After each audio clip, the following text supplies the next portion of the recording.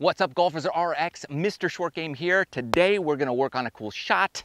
It's gonna help your game, it's gonna help your life. Check it out.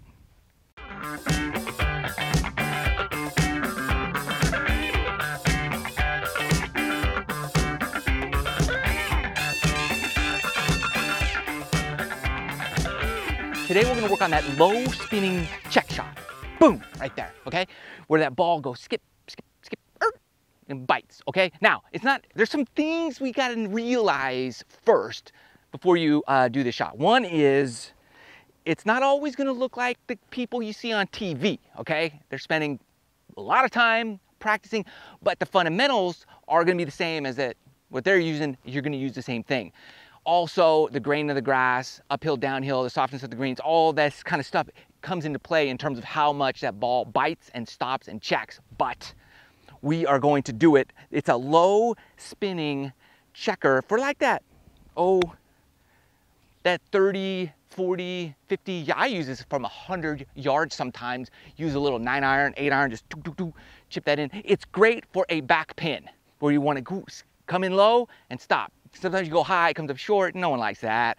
Or you hit it high, you go over the back. Nobody likes that either. So, but we want it low so it lands on that green and then runs out a little bit or, or stops. We get a lot more control with a low shot versus a high shot. So here are the fundamentals that we're gonna use to pull this thing off and it's gonna be a lot easier than you might think, okay? So step one is don't grab your most lofted wedge. We're not using a 60 degree wedge here. This is a 50 degree wedge, like a gap wedge, that I can hit it 120 yards, but I use it for those uh, 30, 40, 50 yarders off the tight lies, especially tight lie, okay? So I like a gap wedge, many reasons why, we can go over that, okay? This has eight degrees of bounce on it, which is a, you know, middle of the road kind of bounce number. That's just the, the degree at which the uh, sole comes down below the leading edge of the club. So here's the sole, it's tilted this way, that's your bounce angle, okay? The degree of which it goes below the leading edge, eight degrees below the leading edge. Now, here's what I like to do. Take that 50 degree and I'm gonna open it up. So that eight degrees is turned into like 10 to 12 degrees of bounce. I'm opening up the face, believe it or not, and hitting it low. That's the key. That's what the secret sauce is with a shot like this. You're gonna open that face. Okay, so that's key. And it's gonna go really low. Because the more bounce you use, the lower the ball will go. Just keep that in mind, okay? So, but I like to open it up. There's a reason why I like to open it up. When you open up that face, okay, you're opening that face up. When you do that, you're, uh, you're able to swing faster. You have to, because that face isn't flat, it's opened so that ball's, it's gonna deflect a little more, so you're not gonna get the speed of which you would normally get off the face of the club if it were square. So you open it up, allows you to swing faster, thus giving you an opportunity to put more spin on the ball. I know what you're thinking. I know, but Mr. Short Game, Matt, when I do that, it's gonna go high. How do I keep it low? I'll show you. But the key is you have to understand is that is why you open the face because you want to swing faster, get more spin on the ball. Now, here's how we, we keep it low. Okay, here, here, here's now the low part. No, my hands aren't forward. I pretty much never do that, so you're, you're not gonna see this very often from me. Very rare occasion, okay? So, weight is 50-50, ball's in the center of my stance. I've opened that face, I've got a 50 degree wedge, gap wedge, and I've opened the face, remember, okay? Now, here's how you keep it low. Show you here.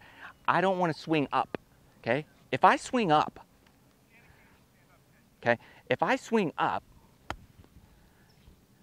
that's a good shot, but it's gonna go high, okay? We don't want to swing up, okay? That's, that's not how we do it.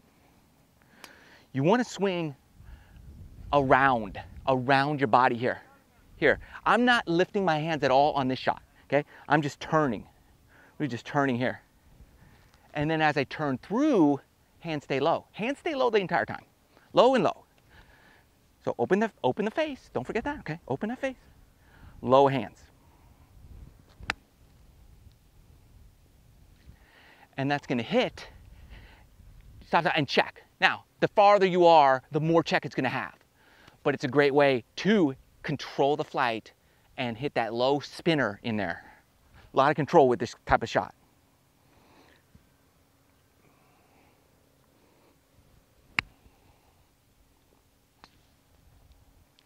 Love that. And the more you engage the bounce with the turf, the lower it will go.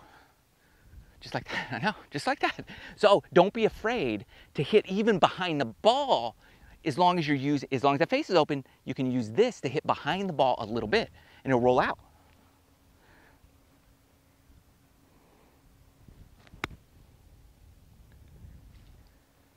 There you go. That's the low spinning check shot and just depend, I'm hitting downhill, so it's not gonna check very well going this direction, but you get the idea. That's how you do it.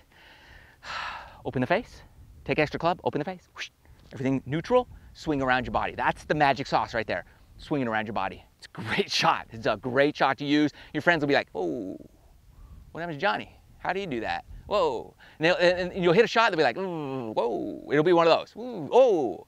Because they'll think you thinned it. They'll be like, oh, oh. That's what's gonna happen. And uh, they're gonna be like, How, how'd you do that? Did you do that on purpose? And you're like, yep, yep, I did. So be sure to check your inbox for more tips from me, Mr. Short Game. Thanks for watching. See you in the next video.